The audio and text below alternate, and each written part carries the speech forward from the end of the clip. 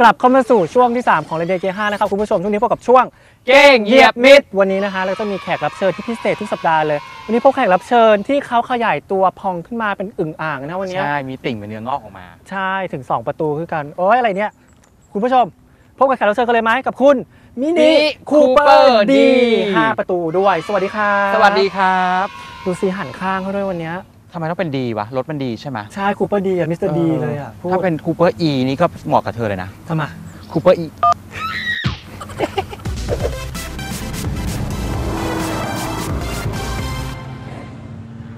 คุณผู้ชมดูนี่สิ มินิคันเล็กมากเลย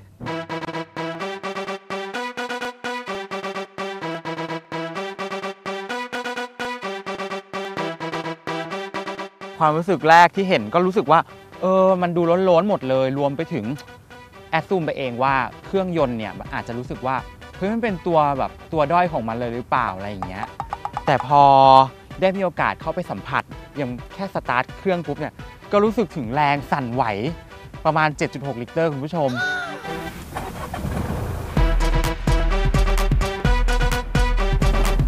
Mini Cooper D 5ประตูรุ่นนี้เนี่ย ก็คือรถยนต์ยี่ห้อมินิเนาะ มินิแปลว่าเล็กถูกไหมแต่คันนี้ไม่เล็กมินินะครับก็โด่งดังมาตั้งแต่ปี 1960 แล้วแหละโฉมแรกเนี่ยอย่างที่คนรู้แหละว่ามินิก็เป็นรถมินิจริงๆก็คือเป็นรถ city car supermini ที่แบบคันเล็กมากอะ่ะต่อมายุคใหม่เนี่ยก็จะมีมินิโฉมใหม่เมื่อสักประมาณปี 2000 มาเนี่ยภายใต้การพัฒนาของค่าย BMW ก็จะมีมินิโฉมใหม่ออกมา คันนี้ที่เราออกมาในรายการเนี่ยมันเป็นโฉมที่ 3 แล้วก็เพิ่งเปิดตัวกันมาเมื่อประมาณเมื่อปีที่แล้วนี่เอง คุณผู้ชม ก็อย่างที่เราเห็นเนี่ยรูปลักษณ์ภายนอกเนี่ยมันก็ยังคล้ายๆกับมินิรุ่นก่อนๆเนาะเพียงแต่ว่ามันมีประตูคู่หลังเพิ่มเข้ามา แล้วมันเป็นมินิอะปกติมินิไม่สามประตูไม่ใช่หรอใช่ป่ะแต่ว่ารูปทรงโดยรวมมันก็ยังดูเป็นมินิอยู่ไม่ว่าจะเป็นกรอบกระจกที่แบบแรป around หรือเขาเรียกว่าโอบล้อมรอบคัน แล้วก็ทัศนวิสัยที่ดูแบบว่ากว้างๆหน่อย แล้วก็ทรงตัวรถที่จะดูเป็นแบบป้อมๆแล้วก็แบ่ง part ตัวถังกับกระจกอย่างชัดเจนอะไรอย่างนี้นะแต่ว่ามินิรุ่นใหม่เนี่ย ตัวมันใหญ่ขึ้นจริงๆอะรูปลักษณ์ภายนอกของ Mini Cooper D รุ่นนี้นะ5ประตูอะพอเราดูรู้สึกว่าพอมันมีเนื้องอก2ประตู 2 อันที่งอกออกมาเนี่ยนะ มันดูคล้ายๆกับออสตินพันสามอะสมัยเด็กๆ ถ้าเกิดใครเกิดทันน่าจะเกิดน่าจะเคยเห็นนะ เดี๋ยวมีรูปแปะให้ดูนะ เหมือนออสตินพันสามภายในพอขึ้นไปนั่งปุ๊บเนี่ยรู้สึกว่าเออมันก็ยังมีความเป็นมินิอยู่บ้างนะ แต่หลักๆเนี่ยมันถูกกลืนเข้าไปด้วยอารยะและวัฒนธรรมของ BM แล้วอะเพราะว่าความเป็นมินิเดิมๆ ความเป็น หน้าปงหน้าปัดจอกลางเราจะเห็นว่าเออมินิรุ่นเดิมๆเนี่ยมาตรวัดความเร็วเนี่ยมันจะอยู่ตรงจอกลางตรงตรงแดชบอร์ดตรงกลางแล้วคุณผู้ชมตอนนี้มันถูกย้ายมาวางอยู่ตรงมาตรวัดตรงด้านหลังพวงมาลัยเหมือนรถทั่ว ๆ ไปแล้วอะซึ่ง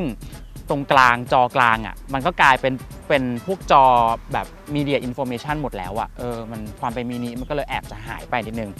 หน้าจอตรงกลางก็จะมีการควบคุมด้วยปุ่มควบคุมคล้ายๆ iDrive ของ BMW อะไรอย่างนี้นะก็น่าจะก็คือแบบควบคุมง่ายขึ้น แล้วก็มีความหรูหรามากขึ้น ฟังก์ชันต่างๆ ไม่ว่าจะเป็นไฟหน้าอัตโนมัติ หรือว่าจะเป็น ระบบปรับอากาศแบบแยกฝั่ง Dual Zone อะไรเงี้ยอัตโนมัติเหมือนกันขับขี่รุ่นนี้นะจริงๆไม่อยากจะ spoil เลยอะมันคือรุ่น Cooper D ใช่ป่ะมันเครื่องดีเซลมันเป็นเครื่อง 3 สูบ 1.5 ลิตรดีเซลพร้อมเทอร์โบ แต่การขับขี่คุณผู้ชมอยากให้คุณผู้ชมมาลองเองกับตัวนะ จะรู้สึกว่าแบบ เฮ้ย มันไม่ได้ดูไม่ได้มาจากเครื่องยนต์ที่มีเพียงแค่ 3 สูบเลยอะไม่ได้มาจากเครื่องยนต์ที่เล็ก เพราะว่าแบบมันเร็วแล้วมันแรงแล้วมันแบบมีชีวิตชีวามากๆ เกินตัวมากๆเลยอะความที่มันเป็นดีเซลคุณผู้ชมต้องบอกก่อนเลยว่ารถยนต์ดีเซลเนี่ยแรงบิดมันค่อนข้างที่จะมหาศาลมาก ก็รู้สึกว่าไม่ผิดหวังนะ เครื่องยนต์3สูบ1,500ซีซีอะอัตราเร่งดี แรงแรงดึงแรงออกตัว torque ตอนออกตัวอะไรอย่างเงี้ยค่อนข้างดีเลยแหละ อันนี้คือพึ่งพาอาศัยได้ ใช้ในเมืองดีประหยัดน้ำมันเดินทางออกต่างจังหวัดไม่ได้เคอะเขินในเรื่องของการเหยียบคันเร่งเลยเออแล้วก็เกียร์ถอยเนี่ยมันมีสัญญาณเอเลี่ยนนะคุณผู้ชมมันเหมือนกับเอเลี่ยนเหมือนยานแม่ลงมาตามหาลูกอะเสียงมันดังตาตาตาตาตาตาตาตาตาตาตาอย่างเงี้ยเออเหมือนแบบมันเหมือนส่งสัญญาณหาลูกกับ เฮ้ยลูกอยู่ไหนวะเอเลี่ยนปล่อยลูกกันตรงไหนก็ไม่รู้อะ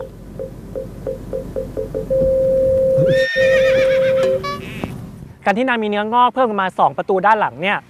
มันทำให้การเข้าออกง่ายขึ้นกว่าเดิมเยอะมากๆ รวมถึงการนั่งเบาะหลังเนี่ยก็จะสบายกว่ารุ่นที่มีเพียงแค่ 3 ประตู ฉะนั้นเนี่ยเรารู้สึกว่ามินิรุ่น 5 ประตูเนี่ยน่าจะเหมาะคนกลุ่มใหญ่มากขึ้น เพราะว่ามีความอเนกประสงค์มากกว่ามินิรุ่นดั้งเดิมนั่นเอง ไม่รู้ว่าจะเรียกว่าจุดเด่นได้หรือเปล่าคุณผู้ชม เพราะว่า character ของมินิต้องบอกก่อนว่ามันเป็นรถ 3 ประตู รถคูเป้3ประตู แต่พอคันนี้เนี่ยมันเป็น 5 ประตูปุ๊บเนี่ยเราก็จับมันมายกมาอยู่ในความเป็นที่มันเป็นจุดเด่น เพราะว่าข้อดีของมันคือมันสามารถทำหน้าที่ในการเข้าออกของผู้โดยสารตอนหลังเนี่ยได้ง่ายขึ้น จากเดิมที่ต้องพับเบาะของประตูผู้โดยสาร หรือประตูผู้ขับขี่ แล้วก็ให้คนเนี่ยก้าวขึ้นไป ตอนนี้เนี่ยไม่ต้องแล้วก็คือเปิดประตูขึ้นไปได้เลย แต่พอเป็นเป็นจุดเด่นปุ๊บเราก็รู้สึกว่ามันแอบจะมีความเป็นจุดด้อยอยู่ตรงที่ว่า ตัวรถมันดูยื่นยื่นๆยาวๆอะมันดูแบบไม่ค่อยสมส่วนเท่าไหร่อ๋อแล้วก็จุดเด่นอีกจุดหนึ่งก็คืออย่างที่บอกเมื่อกี้เนี่ยแหละว่าด้วยความที่มันมีเครื่องยนต์ที่เล็กอะแต่พละกำลังมันเยอะมากๆในมินิรุ่นเนี้ยฉะนั้นคนงานความดีต้องยกให้กับเครื่องยนต์และเกียร์และช่วงล่างของนางเลยทีเดียวทำให้การขับขี่เนี่ยสนุกสนานเกินตัวมินิมากๆ แล้วก็มีความแบบขับง่ายขับสบาย ไม่เหนื่อย ก็ขับสนุก ระบบช่วงล่าง ระบบเบรกหรืออะไรพวกนี้คุณผู้ชม มันยังพอมี character ของความที่เป็นมินิอยู่นะ ข้อด้อยข้อแรกของนางเลยก็คือ ความที่เป็นมินิแล้วไม่เป็นมินิเนี่ยแหละงงมะคือชื่อมินิอะแต่ไม่เป็นมินิอะคือคันมันใหญ่กว่าเดิมเยอะมากเลยทำให้รู้สึกว่าแบบความคล่องตัวจากเดิมอะมันหายไปแล้วแล้วคือส่วนตัวนะเสียดายที่ character มินิเดิมๆที่มันดูเป็นโกคาร์ทเป็นรถยนต์ดิบๆอะไรอย่างเงี้ยขับแบบดูแบบ ต้องใช้ฝีมือหน่อยๆอะมันหายไปหมดเลยมันมีความสบายของเบลแต่มันอยู่เข้ามาเยอะมากๆ จนทำให้แบบ เรารู้สึกว่ามันขาดความดิบแบบมินิไปอะแต่คือจริงๆแล้วมันก็เป็นแบบดาบสองคมอะเนาะคืออีกในแง่นึงคือมันก็เป็นข้อดีตรงที่ว่าคนส่วนใหญ่น่าจะชอบมินิมากขึ้นเพราะว่ามันขับง่ายมันไม่เหนื่อยอะไรอย่างเงี้ยพอเป็นปัจจุบันปุ๊บเขาเริ่มที่จะมีแผนในการพัฒนารถมินิให้ขายในตลาดที่มันแมสมากขึ้น ก็เลยเป็นเหตุผลที่ว่าความเป็นมินิเนี่ยมันเลยถูกลดทอนลงไป มีความเป็นรถยนต์เก่งมากขึ้น เอาใจคนใช้กลุ่มใหญ่มากขึ้นอืมถ้าพูดถึงนะ ราคาตัวรถเนี่ยที่อยู่ที่โชว์รูมราคาเต็มๆมันคือ2 4 8 0 0 0 0 บาท แต่อุปกรณ์ที่ให้มาเรารู้สึกว่าบางอย่างอะควรจะให้มาได้แล้วอย่างเช่นแบบพับกระจกไฟฟ้า หรือว่าไฟหน้า bi-xenon หรือว่าแบบอะไรอย่างเงี้ยนี่คือไฟหน้าก็นี่ไงเป็นฮาโลเจนอยู่ก็เลยดิบๆไงอะที่บอกความเป็นดิบๆที่มันหายไปนี่ไงคนละดิบมะ เราเอาดิบการขับขี่มาใช่ดิบเรื่อง option โลนะคุณพี่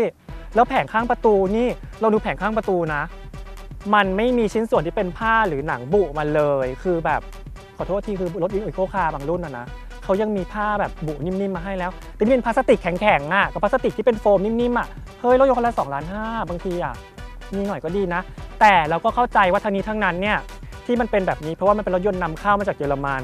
ฉะนั้นเนี่ยราคาก็อาจจะทำได้ไม่ถูกเท่าไหร่ เพราะว่ามันติดภาษีนำเข้า แล้วก็การทำออปชั่นอะ มันอาจจะทำได้ไม่เยอะเท่ากับรถยนต์ที่ประกอบในประเทศ อย่างเช่น BMW ที่มันราคาพอๆกันอะไรอย่างเงี้ยหลายๆอย่างอะตัวรถคันนี้มันเป็น Cooper D ธรรมดา มันไม่ใช่ตัว SD ไง option บางอย่างก็เลยถูกลดทอนไป อาจจะเป็นเพราะว่าการ setting การ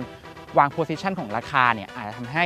รู้สึกว่าคนมีความต้องการอยากได้ตัวคูเปอร์ SD มากขึ้น ก็เลยอาจจะรู้สึกว่าเออให้ option มาให้ค่อนข้างที่มันต่างแบบฟ้ากับเหวขนาดเนี้ย Mini Cooper ไม่ว่าจะเป็นรุ่น 3 ประตูหรือ 5 ประตูเนี่ย มันเหมาะสำหรับคนที่ซื้อรถด้วยอารมณ์เหนือเหตุผล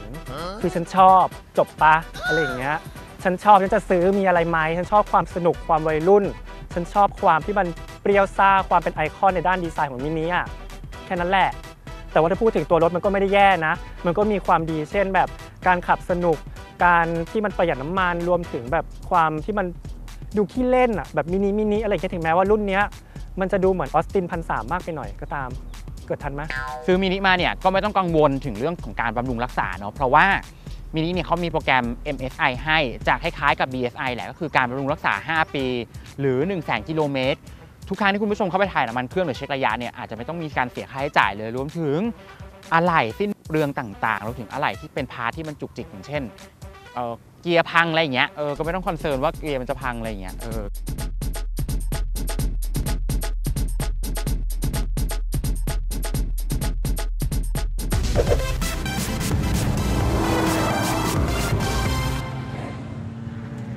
ทั้งหมดนี้คือเรนเดีย Reindeer เกียร์5รายการรถยนต์สำหรับคนที่ไม่รู้เรื่องรถนะครับคุณผู้ชม สามารถติดตามรับชมผลงานของพวกเรา 2 คนนะครับ รวมถึง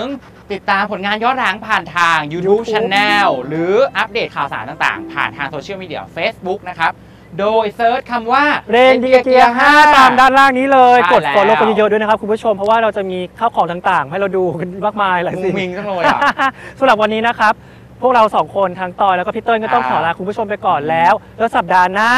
เราจะเข้าเกียร์ไปหาอะไรก็ต้องติดตามกันให้ดีต้อง เดี๋ยวเราต้องไปกันก่อนแล้ว เพราะว่าเรามีเรื่องที่ต้องสะสางใช่กับการที่เขามีประตูเพิ่มขึ้นมา แล้วก็นี่คุณผู้ชมได้ยินเสียงไหมก็เงียบดี เอาเหรอ เงียบดีเหรอเงียบดีไปเราไปกันเลยดีกว่าไปปะเราไม่โจมตีเนาะแต่รถเนี้ยเป็นอังกฤษมากเลยดูสิยูเนียนโอ้โหอุ๊ยแอร์เย็นแอร์เย็นฉ่ำมากเลยอะเออฉ่ำปมากกติเนี่ยรถยุโรปแอร์ไม่ค่อยเย็นนะ แต่เนี่ยคือฉ่ำมากคือเดี๋ยวแบเดี๋ยวบแฉะไปหมดคอแล้มวเพรสเซอร์แอร์เป็นของเดนโซแน่นอน แรง ดูสิ อังกฤษกันหมดเลยขอกดไอซีแม็กป้าเย็น ว้าเดือดจังเลย